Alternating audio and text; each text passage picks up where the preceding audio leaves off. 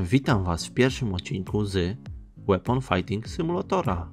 Jeszcze przez 6 dni jest event z okazji nowego chińskiego roku, podczas którego możemy zdobyć wiele wspaniałych nagród. Jedną z misji, którą możemy wykonywać codziennie, jest lokalizowanie fajerwerków. Każdego dnia ich lokalizacja zmienia się. W dzisiejszym odcinku zaprezentuję Wam ich lokalizację na dzień 29 stycznia.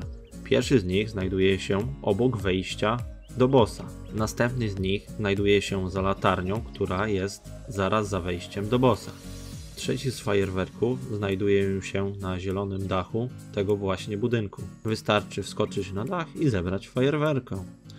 Kolejna fajerwerka znajduje się zaraz obok wejścia do eventowej areny, właśnie nad tą misą.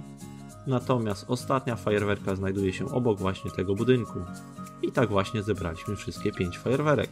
Za każdy zebrany fajerwerek w dniu dzisiejszym dostajemy 100 przedmiotów eventowych, dzięki którym możemy odbierać przedmioty z eventowej przepustki. W dniu dzisiejszym mamy bonus razy 5 do właśnie tych przedmiotów, więc warto zrobić tą misję. W dzisiejszym odcinku to już wszystko. Mam nadzieję, że Wam się spodobał.